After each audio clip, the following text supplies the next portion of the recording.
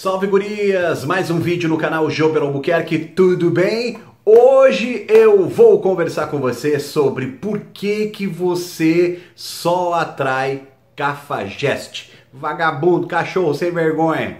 Ai, será que eu tenho o dedo podre, Jober? O que que tá acontecendo? Só aparece esse tipo de homem na minha vida. Tá, então tá preparada pra verdade? Não adianta tentar pular o vídeo não. Se tu veio até aqui, vai até o final, porque o assunto é sério e hoje aqui a gente tem uma DR que nós vamos falar olhando um no olhinho do outro e sendo sincero, como sempre nesse canal. Tá bom? Tá preparadinha? Obrigado por você ter aparecido aqui também. Você que está chegando a primeira vez, seja muito bem-vinda. Eu sou o Joper Albuquerque, especialista em conquistas e relacionamentos, empoderamento feminino. Garotas, por que, que você só atrai cafajeste, hein? Por que será? Toda mulher diz, já tem um mito aí entre as mulheres, ai, todo homem é vagabundo, todo homem não presta, tudo isso, daquilo. Cara, isso só vai ser ruído. Vamos à prática, os porquês disso acontecer. Primeira coisa, e lá vai mais um vídeo meu aonde eu vou repetir algo que já vai ser, ó, eu não vou cansar de falar isso para vocês até a maioria de vocês aprenderem. A primeira coisa, mais uma vez em meu vídeo, é segura a sua ansiedade. Quando você, ansiosa, ansiosa, porque não está uh, engatando um relacionamento, porque está se sentindo sozinha, às vezes porque está com a sua autoestima lá embaixo, sabe? Se achando isso, se achando aquilo, não se valorizando, às vezes porque a amiga isso tá namorando, a outra também, tô ficando velha, tô ficando patitia, eu quero alguém. Aí dói. Quando você fala para você, eu quero alguém, eu preciso alguém, e lá vai você para os Tinders, para não sei o que, para não sei o que, e isso e aquilo, e fica desesperada. Pode não admitir. Claro, ai, Gilberto falou, pegou pesado. Não, não, também não estou dizendo, ah, louca, mas tô também tá desesperadinha. E nesse desesperadinha você fica cega pro principal Primeiro carinha bacana, querido, xalalá. Eu até tô pensando em fazer um vídeo. Eu já tinha preparado esse texto há muito tempo, mas eu achei que não ia ser do interesse de vocês. Até gostaria que vocês dissessem aqui embaixo nos comentários que eu tava afim de fazer uma coisa. Como é que o cafajeste é preparado? Como é que nós homens somos? Como é que a gente estuda para ser um cafajeste? Como é que a gente nasce para ser um cafajeste? Como pensa a mente de um cafajeste? O xalalá, a criação, como ele é feito para derrubar, para ser um predador, para conquistar uma mulher através da conversinha. Então, eu já pensei em fazer, se vocês quiserem, me diz aqui embaixo, a maioria vai dizer pra gente, eu vou, eu vou saber se a gente faz ou não. Mas o que está acontecendo? É o seguinte, nessa carência toda, o primeiro xalalá, Dom Juan, bonitão, chavequeiro, vai lá e creu, pronto, tá lá. Apaixonada, já dá toda a vida, já acha é o príncipe encantado, já sai contando para todo mundo, ai tô namorando. Cafajeste. Vai dar um mês, o cara some. Cafajeste. Por quê? Você não fez o dever de casa. Aquilo que eu falo lá no livro Poder Secreto. Estuda o cara, tenha paciência, dá o tempo de maturação, o homem tem prazo de validade, vê as três fases dele, qual ele está.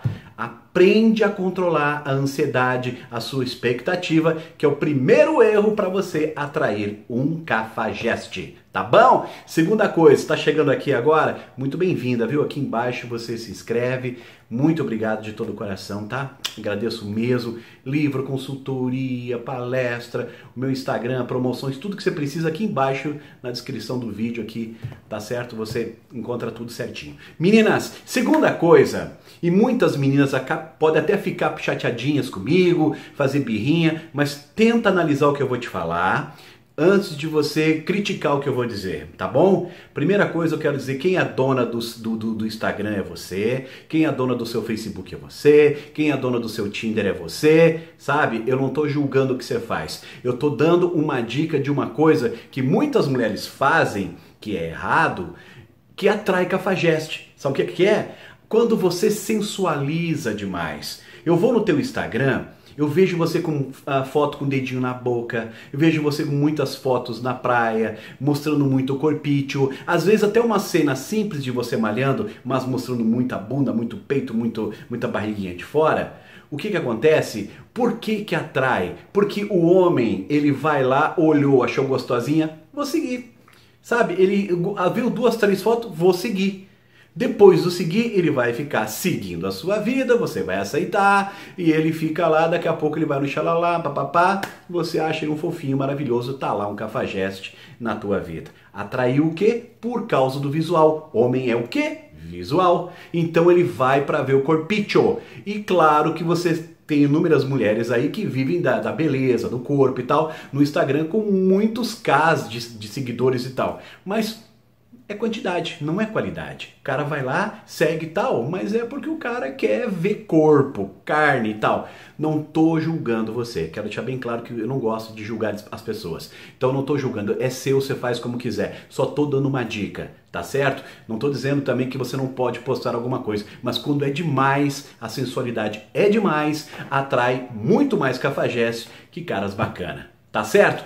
Terceira coisa ainda rolando dentro dessa parte de Instagram e, outras coisas, quando você acha um cara bacana, um cara bonito, e você vai lá e dá um clique, uh, levada pela emoção, achei ele legal, shape bacana, ah, o tanquinho na barriga, nossa, meu número, vai lá e de cara já sai pau. O que, que acontece? Você dá o sinal que gostou dele. Ele vai ver, ó, oh, gostei de você, vou seguir também, vou o que, que aconteceu? Você foi pela emoção e foi naquela coisa da beleza. Só que você não parou para ver todo geral, a vida do cara. De repente ele tá lá com um monte de foto embalada, festa, pegação, uh, barriga, tanquinho, coxa de fora, zoeira. Você não percebeu o sinal da vida desse cara. Então, uma, um conselho aqui do tio para você. Quando você achar um cara bonito, em vez de curtir, dá uma olhada, porque geralmente os homens têm perfil aberto, dá uma olhada lá embaixo. Prefira caras que têm fotos de viagem, fotos com animais, fotos de, de lazer, de praia tal. Não digo que não tenha que ter uma ou duas ou três fotos assim, também fazendo esporte, mostrando a barriguinha, porque o homem também gosta de mostrar essas coisas. Mas cuida para você não ir lá e dar um like, um gostei num cara que a vida dele é, é, é só isso, que ele sinaliza ser só isso. O que, que acontece? Muito mais chance para você abrir a porta para um cafajeste chegar na sua vida, fazer a festa dele e ó, xalala no teu ouvido. Presta atenção. Eu vou falar uma coisa também que de repente a maioria de vocês não, se dá conta disso no dia a dia e que no marketing você vai perceber que a palavrinha não, geralmente em qualquer slogan, não tem essa coisa de não não. Sabe o que, que é? O nosso cérebro, ele não processa essa palavrinha não na hora de você colocar um, um, um slogan, sabe? Não vai não.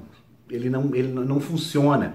Então, o que, eu quero dizer com isso? Quando você, para tentar se proteger de vagabundo, de cafajeste, você coloca assim no seu Instagram embaixo: não aceito, uh, uh, não quero curtição não quero curtição, uh, não quero nudes, não quero isso, não quero aquilo. O cérebro masculino ele vai neutralizar o não e vai ler quero nudes, quero curtição, vai pular o não. Isso pode procurar, pode pesquisar sobre o não. Ele passa despercebido, é cortado. Então, quando você usar uma frase dessa, uma coisa dessa, achando que vai se proteger, tá lá o não sendo neutralizado e você sinaliza que quer aquilo que você menos quer. Então, deixa de lado ou se ou se preferir, ache outra maneira de dizer aquilo que você não quer para sua vida. Para fechar a minha quinta dica, e é importante dizer para você que é o seguinte, as cinco dicas. Número cinco é, é o mito. Não venham me dizer que vocês não têm um mito que vocês têm maioria das meninas que fazem consultoria comigo, nas palestras, no, dia a dia que eu converso, fala o que para mim? Ai, Jober, cá para nós, vamos conversar. Eu adoro um cafajeste. Ai, Ai, ele era, ele era, muito bonzinho, aquele menino, me cansava. Ah, mas não, o, o cafajeste tem pegada. Sabe? Criaram o um mito. Criou o um mito. o mito está criado. Entre vocês mesmas, a toda aquela coisa que Charlie Brown Jr. já dizia na letra. Toda patricinha adora um vagabundo. O que, que acontece? Isso virou de mãe para filha. E vocês vão eternizando o mito. Aí o que acontece? Quando o mito se torna realidade na vida de vocês, vocês correm para mim fazer consultoria para dizer, cara, como é que eu faço para lidar com esse cafajeste? Ele é muito sem vergonha, ele me traiu, ele me fez isso, como é que eu faço? Gente, vamos parar de eternizar o mito, de achar que o cara bonzinho, legal, pai de família, que vai cuidar da sua, da sua família, da, da vida de vocês, fazer um lar bacana com vocês, é fraquinho. Claro, você tem que ensinar esse cara, você tem que botar na cabeça dele que na cama, na hora da pegada, ele tem que ser um predador mesmo e dá incentivo e faz e puxa pelo cara. Mas fora dali, é do caramba o cara ser legal com você. É do caramba ele ser um, um bonzinho e gentil com você. Essa coisa de literatura do mito está muito impregnado na nossa sociedade e aí quando aparece na sua vida, você reclama. Não dá para entender, mas esse é o mundo feminino e eu procuro entender. Tá bom? Ó, aqui embaixo, dúvidas, uh, críticas e elogios, o que você quiser, fica à vontade. Beijo para vocês, amor e paz.